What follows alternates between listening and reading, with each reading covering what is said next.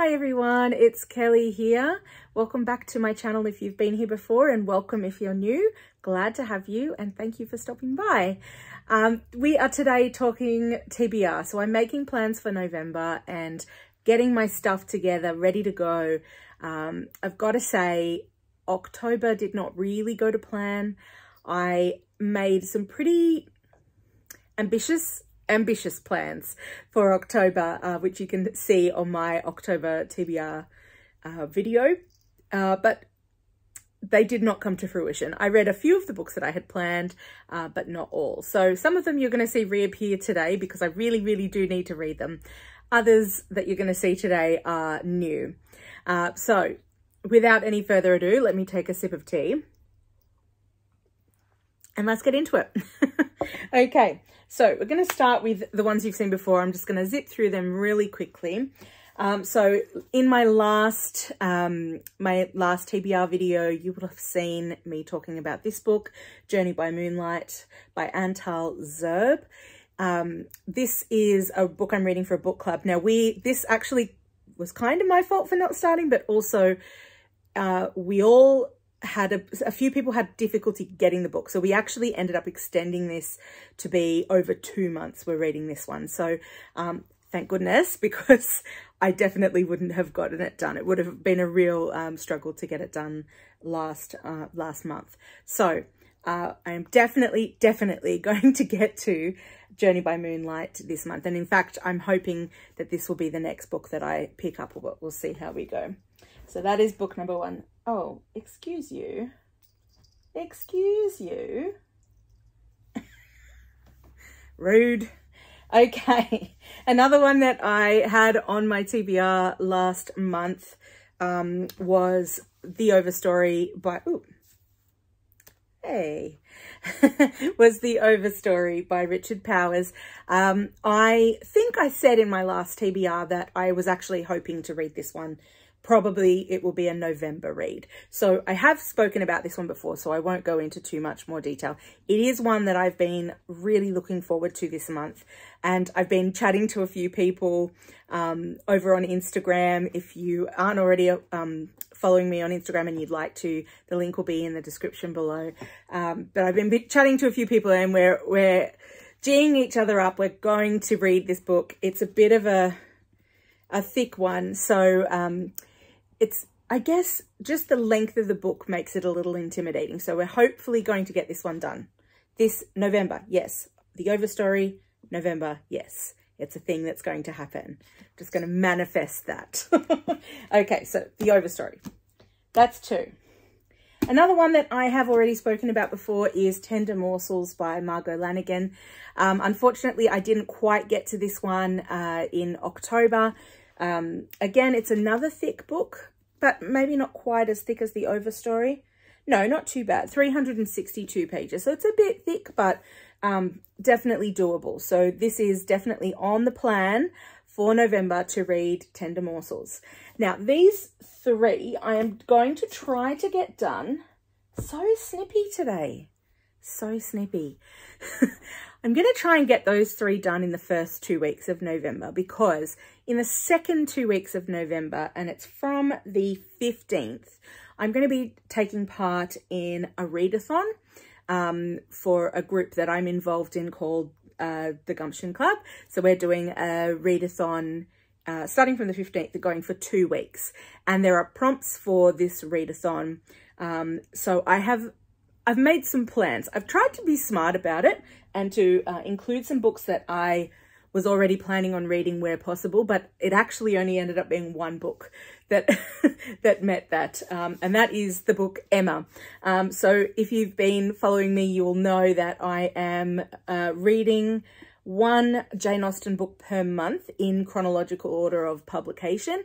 Uh, so last month we read uh, Mansfield Park, Prior to that, it was Pride and Prejudice, and prior to that was Sense and Sensibility. So we're up to Emma. Emma's the last of the kind of chunky ones. Uh, let me see how many pages. Well, just over 400 pages. So what, 412 pages. So again, it's, it's a little chunky. I'm, I'm setting myself these targets and it's, it's going to be hard. it's a lot of reading that I need to get done this month. Um, but yeah, Emma is definitely on the plan. Uh, it's one that I was going to read anyway. It was part of my long-term uh, plans for this year to read this book. It's one I've been looking forward to. I actually haven't read Emma before, and I know that it's a lot of people's favorite Austen. Um, so I'm definitely keen to get to this one um, and to read it, especially after not really enjoying Mansfield Park very much, which I'll talk more about when I do my wrap up for October. Um, so I'm, I'm really hopeful that Emma's going to be um, not an easy read, but a, a breezy read, something that I'll feel compelled to just kind of keep pushing through and getting through kind of quickly because uh, this is going to be within that last two weeks of November. So that this uh, Emma is actually working for two of the prompts uh, from uh, the readathon, uh, one of which is a long term, I think it's the book Gathering Dust on Your TBR, so that's definitely this one. And the other prompt that it works for is um, a place you'd like to visit. So I would love to visit England. I've never been before. Um, and yeah, so that works perfectly. So that's going to work for two of my prompts. Um, the next prompt is a book that begins with a letter from your, uh, the same letter as your first name. So my name's Kelly, starting with a K. Um, so my plan is I don't, we'll see how we go. Um, I've got two options for this plan. One is the KISS Quotient, which I don't have a physical copy of, but I've got on my Kindle. Um, so the KISS Quotient by Helen Hoang, uh, which is one that I've been interested in getting to um, for since I heard about it. It's a romance, but it's written um, by an autistic author and features a character who discovers that, or gets that diagnosis of autism in the middle of the book. So I'm really interested to read um, the KISS Quotient. So we'll see how we go because I, as you've seen, I've got some ambitious plans. So if that's not looking possible, I'm going to read um, this one called KidGlovz uh, by Julie Hunt and Dale Newman. And this is a, I guess you would call it a graphic novel. Um, yeah, I actually started this, um, I don't know if you can see, there's a bookmark partway through there, um, and got a fair way. I didn't love it, but I'd like to get it done um, so that if I if I love it, then it's something that I can keep and and, and enjoy in the end. Uh, if I love it, sorry, um, it'll be something I can keep and enjoy, but otherwise so that I can pass it on. Um, so I'd like to get done with this book. I've had this for some time now, um, so definitely I would like to get it done at some point. So if it's not looking possible to do the KISS quotient, I'm going to read this book, KidGlovz. So that's a possible. Um, so that's that prompt, the K prompt. Then the next prompt, and this is an optional prompt, but I'm going to try and do it, is a book with a, co a color in the title. And again, this is one that I have on my Kindle because I've recently just been thinking about how many books I buy on Kindle and just never get to. So I've been trying to incorporate that in with, with my plans, my TBR plans each month um, to incorporate some Kindle books. Last month, I didn't read anything on my Kindle in October. So I'd like to read at least one or two books on my Kindle this month. Um, so the book that I've selected for that is called Silver in the Wood uh, by Emily Tesh, I believe. Um, I don't know much about this book. I believe it's uh, sort of within the fantasy genre, but I don't know if it's what kind of fantasy it is. Um, but yeah, I'm gonna I'm gonna try and get to that one. And then the final prompt for uh, the readathon is um, rereading a children's, a, a favorite from your childhood. And I could not go past this. Um, so this was, it's The Queen's Nose by Dick King-Smith, um, which was my favorite book when I was at school. I remember borrowing this from the library at my school. Um, hello, Xanthi. And I loved it. I was so excited um, by this book. I haven't reread it since, but I did some years ago now, like 15 years ago, I um, there's a bookshop in Australia called Berkelouw Books, and I don't know if they still do this because I haven't tried to utilize this service for some time, um, but they used to and probably still do have a rare and out of print book search. Um, so subsequently to me finding this, this book has been reprinted. There, are, there are newer editions of this book, but I was keen. This is the same edition that I had at school, um, in the school library. uh, so I used that service and they were able to find me a copy um, of The Queen's Nose.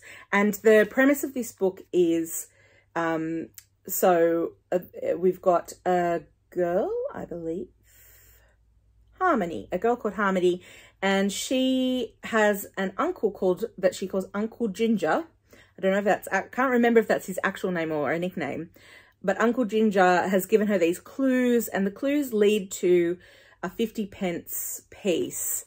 Um, so set in, set in um, the UK, in England, I believe. Um, and she's a bit disappointed when she finds that the clues lead uh, have led her to, to a just what seems like a regular 50p piece. But it turns out um, that it's not an ordinary coin. Um, so there's definitely some magic and some fun here. So this is a nice short uh, middle grade read. So I'm, I feel like I can I can get through this one. So this is again one of the optional prompts, but I am going to try and do it. So I hope that this month has been a little bit more doable compared to last month. Um, we've got a few books here, plus my two on the Kindle. Um, and yeah, we'll see, we'll see how we do. I'm going to try. I'm going to try my absolute best to get through all of these books this month. Um, but you know, things happen. October was a crazy month. It just didn't quite get there. So I'm hoping that November's a little bit more chill and I'm able to get a lot more reading done. All right, so that's my TBR for this month. Have you read any of these books? Um, do, do you recommend the ones? Obviously, I've read this one before, but I haven't read any of the others. So um, I'm keen to hear your thoughts. If you've read them, have you loved them? Have you hated them? What's the what's the vibe? Are we, am I on onto a good thing here? or am I going to have a horrible month? I hope not. I hope it's the, the former, that it's good vibes only from here on in. Uh, so thank you very much for stopping by um, my channel and for watching this video. I hope you've enjoyed it and I look forward to chatting with you in the comments. See you on the next one. Bye for now.